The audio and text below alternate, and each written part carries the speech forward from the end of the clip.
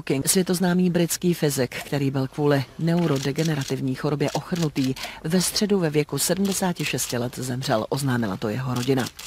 Hawking, který byl považován za nástupce Isaaca Newtona a Alberta Einsteina, svými poznatky o vzniku vesmíru, o velkém třesku a černých dírách velmi výrazně přispěl k rozvoji lidského poznání. Své znalosti předával i široké veřejnosti. Vysoce ceněná je především jeho populárně vědecká publikace Stručná historie času.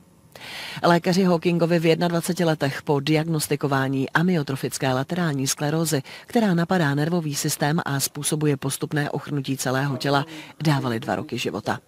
Navzdory všem prognózám se však dožil pokročilého věku, byl však paralizován a kvůli tracheotomii přišel ohlas. Mluvit pak mohl jen díky počítači.